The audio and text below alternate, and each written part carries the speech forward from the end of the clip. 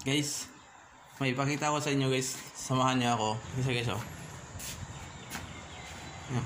Kasi guys, orchid siya, oh. Ayan, oh. Ganda ng orchids. Ang ginawa ko dito guys, tingnan isa lang, isa lang ang ano niya, isa lang ang dahon niya. Pero namulaklak siya. Tingnan niyo. Ang daming mulaklak, oh. Ano? Ang mulaklak. Ginawa ko dito guys, every morning, dinidiligan ko lang to ng ano, ng ihi. yung ihi, lagyan mo ng tubig kunti. Tapos, minsan ano din, ah, hugas, bigas. Bisaya pa kinilis. You know, ang daming ano, daming bulaklak. Kahit isang dahon lang siya oh. Tingnan nyo. Isang dahon lang siya. Pero, pag matured na talaga siya, mamulaklak talaga. Pag may ano siya, may vitamin siya oh.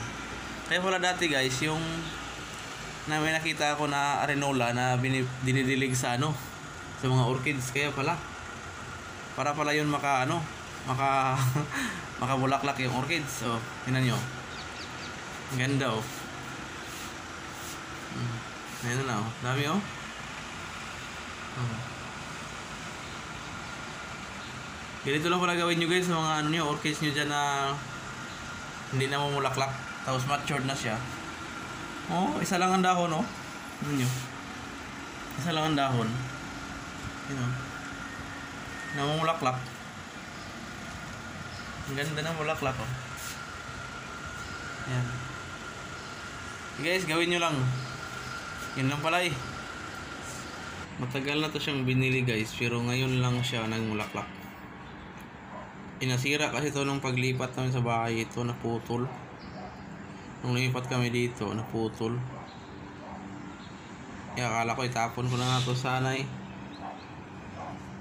Eh yun, dinidilig-diligan ko lang ng ano, hugas bigas, tsaka ihi. Ayun, namulaklak naman. Eh maganda. Akala, akala nyo guys, binili to ng ano ha, eh binili to nung wala pang bulaklak. Kasi naputol to eh. Ayan o. Ganda na.